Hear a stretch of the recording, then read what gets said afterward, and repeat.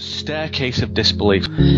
If you consider the ability for people, this is what you're talking about, the ability for people to grapple with very controversial parapolitical ideas or with, with hugely alternative perspectives on, let's say, historical events, uh, globalist politics, um, metaphysical ideas, just this, this sense that the great holographic illusions of reality must be encountered if you want to know what's going on. And there's there's different levels of that. Imagine a staircase that stretches up into the sky, into the clouds, right? And low down on that staircase are certain certain subject matters where you can take a step on it, a little step. Let's take an easy one.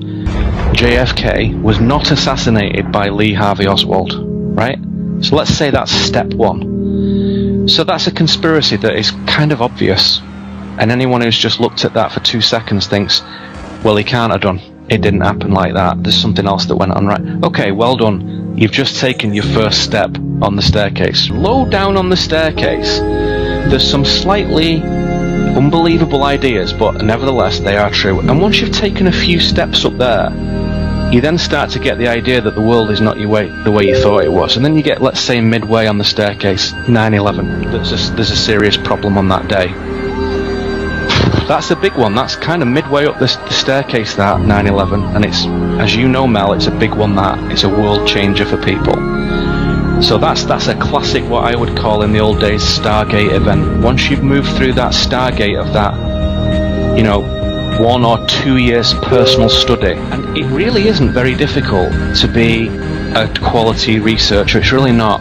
You need to train yourself. You need to develop discernment. It takes a while, but it's not hard really isn't that hard. And when you look at it, you see the staggering problems, particularly all the doctored photographs in Sandy Hook. Big giveaway, big, big, big giveaway. Um, another one on that, on the midway point. The media is not fair and never has been. Never, never, never, never, never has been. Once you start to grasp the magnitude of empire, that's that's not too difficult to get to. That right and then you get to another one. This is a tough one for some people because we're, we're midway. We're getting higher on the staircase now. Is it possible that we conceive of a situation where all kinds of organizations, is it possible that those groups are actually bad? That they appear to be grassroots uprisings of people wanting equity and justice? Of course. No, no, no, no, wrong. That's not what they are. They've not arisen organically and they do not represent reality.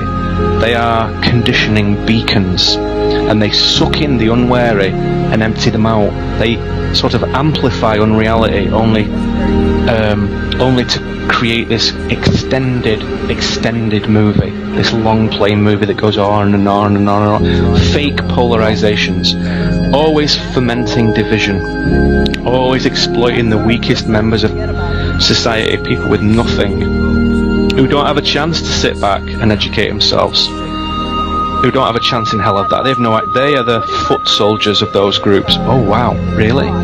So all that anti-fascism stuff and all those good people who think that that's all garbage. That's right. That's garbage. All of it. All garbage. That's that's a tough place to be. If you can stomach that, then you get further up, let's say the top part of the staircase. We know that no one's gone up that staircase, nobody's done it. You go up further. The Earth is not a sphere. The Sun and the Moon are not what you think they are. Same size, not far away. There is no gravity. Humans are ensouled children of divine source. And right at the top of the staircase, God is real and loves you. That staircase that staircase of disbelief is what allows one person to examine a thing and another person not to examine a thing. You forget, Mel, and I say this tongue in cheek, you forget how far you've already come up that staircase over the last 15 years.